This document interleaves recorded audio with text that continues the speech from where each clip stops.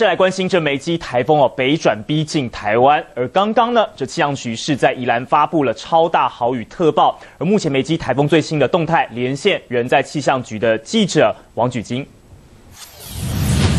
好的，主播各位观众，我们现在带您来关心一下中台媒介的最新动态哦。因为目前呢还是往北北东往北的方向来前进，那目前对于宜兰地区呢可以说是造成比较大的雨势。不过呢，因为这个中台媒机行进的方向比较诡异一点点，所以如果呢未来是往来偏的话，可能就会对台湾本岛来发布陆上台风警报，就比较危急一些。那我们来关心稍早预报员的谈话。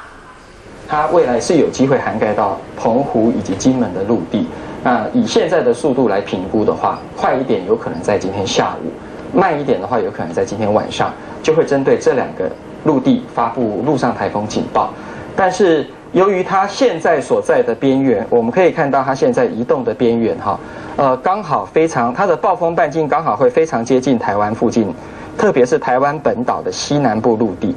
好，那。呃，只要它的路径移动路径有比现在所预期的路径要更偏东一些的话，我们也不排除会针对西针对西南部陆地。发布陆上台风警报。好的，那么刚刚气象局表示呢，其实目前呢已经针对宜兰地区可以看到呢，已经下超过了四百毫米，光一天的时间了。所以现在宜兰地区呢已经上修到了超大豪雨的等级。这未来这一天呢，可能民众要特别注意的。不过呢，要特别小心的是哦，如果未来台风是持续往台湾来靠近的话，今天下半天到明天的时候，恐怕主雨带如果进入到台湾的西南部的话，恐怕也会造成这个台南还有高平地区会造成比较大的雨势。这南部地区可能在今天下半天。要特别小心。那么，以上就是在气象局的最新情况，把镜头交还给棚内主播。